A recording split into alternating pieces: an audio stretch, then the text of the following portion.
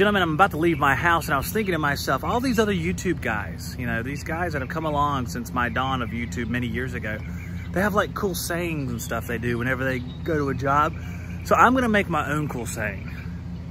I don't know what it is yet. This is spur of the moment. So it's like, let's do some work. That's what Zack does.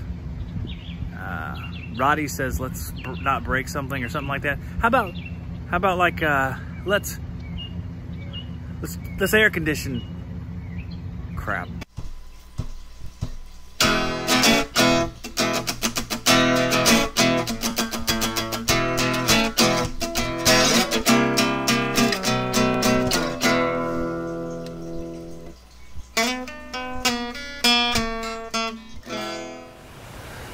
Guys, we have an American Standard here that I'm going to do a little bit of checking and cleaning. Got the Vito, got the Monster shot back over here because we have to get down in there and get all those leaves out of there. Got my supplies for cleaning the coil as well. Got some heavy duty Viper, got the Viper foam gun, the hose, and those are my Y-jack probes in the black case. So let's get ready and open this thing up. I'm gonna go ahead and check the capacitors while I have it open before I clean, and we'll clean it up. That's about right. No power to this outlet. Tried to reset and test it.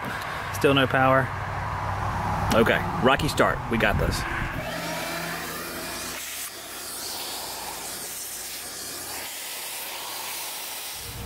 Alright, got Southwire. 2103T.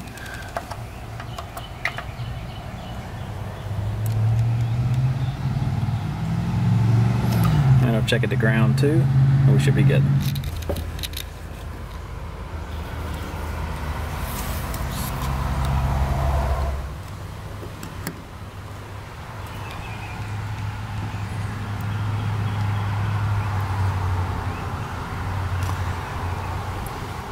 Alright, the 40 side is good.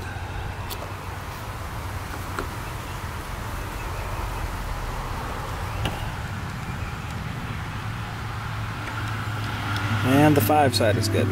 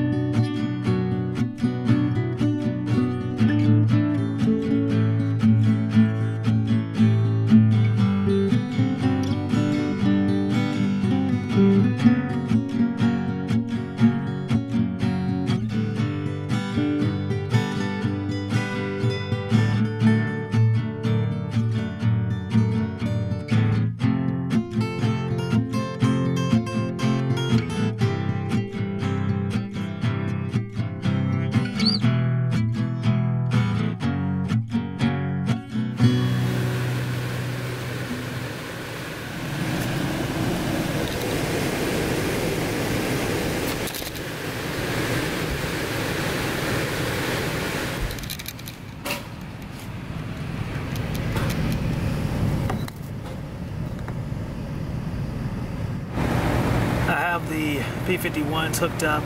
We're following the pressures here. I got to get everything else hooked up. I have the probes inside in the ceiling, but I have to uh, have to hook up the line temperature probes out here. There we are right now. We'll see where it ends up here shortly. Of course, our coil is still probably going to be a little damp, so let it run for a few minutes to dry out the coil as well. And we have an angry sky coming, so cross your fingers. Right now we have 146, 147 over 71, and we have 3.8 subcool, 19 superheat. So we'll continue to let it run, let that head pressure build a little bit. It's not that warm outside, it's probably around 75, 80 degrees, but we'll have to let it run for a few more minutes. So we get that coil all dry. And we're set up for R22, this old R22 system, which uh, historically has been pretty good. This is the YJack View app that I'm looking at here. You can change it over. Well, it's hard to do with the glove line, but I'll switch it over to psychometrics here. As you can see, we just started running a minute ago. We have about a seven degree split. It's gonna build up here as we keep going. Relative humidity is 60, or about 60%, so we should have something like a 16 or 17 degree split, somewhere around 16 degrees from return to supply about five or ten minutes go by and we have a delta T of, let's see, just over 14, so we're building in that right direction. It hasn't quite been that, that full running time where you'd expect a steady state operation. Relative humidity is 69% on supply, 57, so it's coming down on the return. Also, our pressures are building up a little bit on the head pressure side. Suction pressure and temperature are being controlled by TXV. So suction pressure, superheat. So, so you can see the uh, the stuff on the screen here, or you can see it on the app. I just happen to use the app most of the time, especially since I'm using a different camera now. These are the YJack probes I have in place. YJack wireless temperature clamp. The other one inside called the YJack Dew. And then there's a range extender, which I've never actually had to use because I work on little itty bitty residential stuff like trailers and mud huts and yurts and things like that. So there we are. We'll check back in about five or 10 minutes and see how we're doing.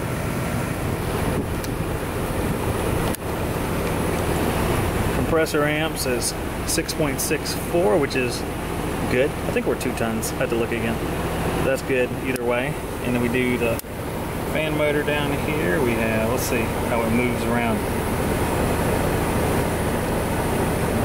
1.01. It seems like, uh, seems like that'd be a little bit high. Let me see what it's rated for.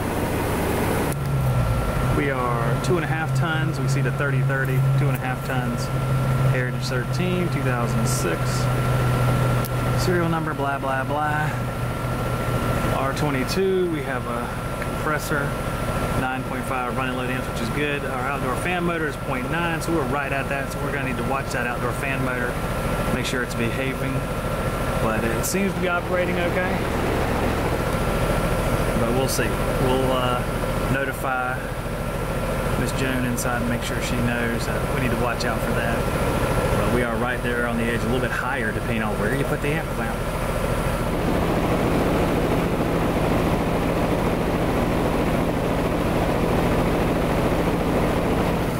Looking at 18 minutes runtime here, 176 over 68 thereabouts. We have a temperature split of 72.8, almost 73 to 56. That's 16.2, which is right on the money for where we want it to be. Let's see here. Pressure temperature wise, subcool 6.6 over 19, so we're squared away there too. So everything's looking pretty good. This machine overall is pretty good. I think the concern is going to be fan motor up there. We have a contactor to watch, and I think that's where we're going to be at with this one. So overall, looking pretty good for a 16-year-old system. Pretty healthy, pretty happy. So we'll give them the thumbs up with a couple of cautions to watch here in the future.